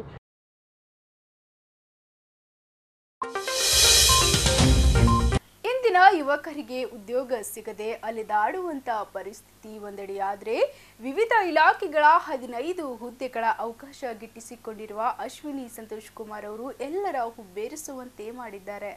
ಕಲಬುರಗಿಯ ಜಿಲನಾಬಾದ್ ಬಡಾವಣೆಯ ನಿವಾಸಿಯಾಗಿರುವ ಅಶ್ವಿನಿ ಸಂತೋಷ್ ಕುಮಾರ್ ಅವರು ವಿವಿಧ ಇಲಾಖೆಗಳಲ್ಲಿನ ಹದಿನೈದು ಹುದ್ದೆಗಳಲ್ಲಿ ಅರ್ಹತೆ ಪಡೆದುಕೊಂಡಿದ್ದಾರೆ. ಅಶ್ವಿನಿ ಅವರು ಬಿಎಡ್ ಡಿಎಡ್ ಹಾಗೂ ಬಿಎಡ್ ಶಿಕ್ಷಣ ಮುಗಿಸಿದ್ದು, ಈ ಅರ್ಹತೆಯ ಮೇಲೆ ವಿವಿಧ ಸ್ಪರ್ಧಾತ್ಮಕ ಪರೀಕ್ಷೆಗಳನ್ನ ಬರೆದು ಉತ್ತೀರ್ಣರಾಗಿದ್ದಾರೆ. ಗೃಹಿಣಿಯಾಗಿರುವ ಅಶ್ವಿನಿಯವರು ಸಂಸಾರ ಜವಾಬ್ದಾರಿಯೊಂದಿಗೆ ಅಧ್ಯಯನ ಮಾಡುವ ಮೂಲಕ ಸರ್ಕಾರಿ ಹುದ್ದೆಗಳನ್ನ ಅವರನ್ನರಿಸಿ ಬಂದರೂ. ಈ ಎಲ್ಲಾ ಹುದ್ದೆಗಳನ್ನ ನಿರಾಕರಿಸಿರುವ ಅಶ್ವಿನಿ ಉನ್ನತ ಅಧಿಕಾರಿಯಾಗುವ ಬಯಕೆಯನ್ನಿಟ್ಟುಕೊಂಡಿದ್ದು ಕೆಎಸ್ ಪರೀಕ್ಷೆ ಬರೆಯಲು ಸಜ್ಜಾಗ್ತಿದ್ದಾರೆ. ಸೇಡಂ ತಾಲೂಕಿನ ಅಂಗನವಾಡಿ ಕಾರ್ಯಕರ್ತರ ವೇತನ ಹಾಗೂ ಇನ್ನಿತರ ಬೇಡಿಕೆಗಳನ್ನ ಈಡೇರಿಸುವಂತೆ ಒತ್ತಾಯಿಸಿ ಕಲಬುರಗಿ ನಗರದ ಎಸ್ವಿಪಿ ವೃತ್ತದಿಂದ ಸಮಾಜ ಕಲ್ಯಾಣ ಇಲಾಖೆಯವರಿಗೆ ಕರ್ನಾಟಕ ರಾಜ್ಯ ಸಂಯುಕ್ತ ಅಂಗನವಾಡಿ ಕಾರ್ಯಕರ್ತೆಯರ ಸಂಘ ಜಾಥಾ ನಡೆಸಿತು. ಕಾರ್ಮಿಕರೇ ಒಂದಾಗಿ. ಈ ಕೂಡಲೇ ಸರ್ಕಾರ ಎಲ್ಲ ಅಂಗನವಾಡಿಗಳಿಗೆ ಸಮರ್ಪಕವಾಗಿ ಸಂಬಳವನ್ನು ಒದಗಿಸೇ ಒದಗಿಸೇ.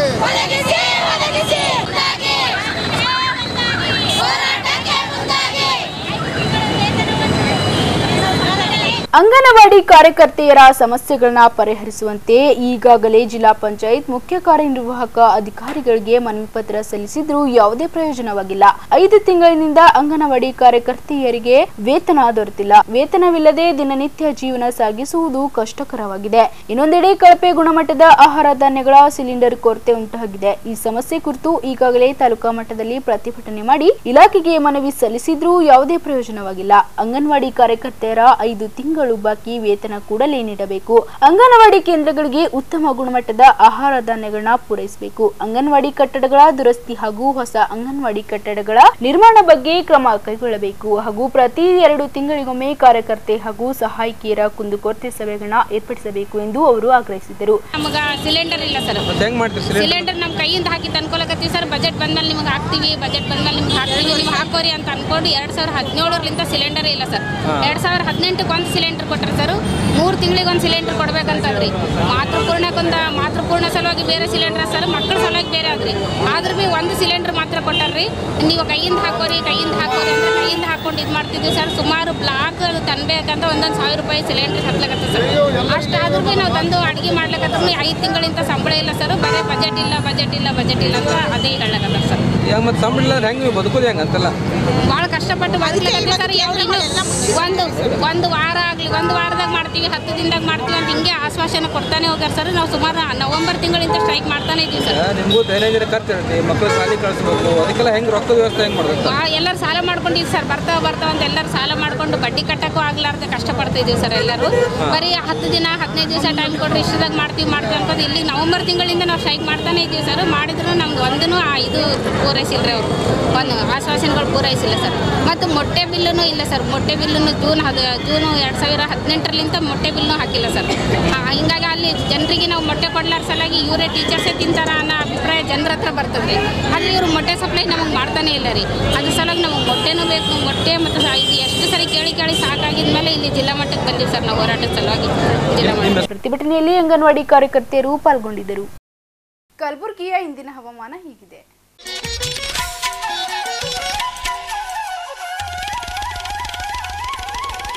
ಕಲಬುರಗಿಯಲ್ಲಿಂದು ಗರಿಷ್ಠ ಇಪ್ಪತ್ತೆಂಟು ಡಿಗ್ರಿ ಸೆಲ್ಸಿಯಸ್ ಕನಿಷ್ಠ ಇಪ್ಪತ್ಮೂರು ಡಿಗ್ರಿ ಸೆಲ್ಸಿಯಸ್ ಉಷ್ಣಾಂಶ ದಾಖಲಾಗಿತ್ತು. ಕೊನೆಯಲ್ಲಿ ಮತ್ತೊಮ್ಮೆ ಮುಖ್ಯಾಂಶಗಳು. ಕಲಬುರಗಿ ಜಿಲ್ಲೆಯಾದ್ಯಂತ ನಡೆಯುತ್ತಿದ್ದ ಅಕ್ರಮ ಚಟುವಟಿಕೆಗಳ ಮೇಲೆ ಪೊಲೀಸರ ದಾಳಿ ವಿವಿಧೆಡೆ ಅಕ್ರಮದಲ್ಲಿ ತೊಡಗಿದ ಆರೋಪಿಗಳ ಅರೆಸ್ಟ್. ಮಣ್ಣೆತ್ತಿನ ಅಮಾವಾಸ್ಯೆ ಹಬ್ಬದ ಪ್ರಯುಕ್ತ ಕಲಬುರಗಿ ನಗರದಲ್ಲಿ ಎತ್ತುಗಳ ಖರೀದಿ ಭರಾಟೆ. ಧನ್ವಂತ್ರಿ ಆಸ್ಪತ್ರೆ ಹಾಗೂ ರೋಟರಿ ಕ್ಲಬ್ ವತಿಯಿಂದ ಕಲಬುರಗಿ ನಗರದ ಧನ್ವಂತ್ರಿ ಆಸ್ಪತ್ರೆಯಲ್ಲಿ ವೈದ್ಯ ದಿನಾಚರಣೆ. ಇಲ್ಲಿಗೆ ಇಂದಿನ ವಾರ್ತಾ ಪ್ರಸಾರ ಮುಕ್ತಾಯವಾಗುವು ಮತ್ತೆ ಮುಂದಿನ ಸಂಚಿಕೆಯಲ್ಲಿ ಭೇಟಿಯಾಗೋಣ. ವಂದನೆಗಳು. ಪ್ರಾಯೋಜಕರು Mahalakshmi jewellers Devanand sari centre, luggage shoppe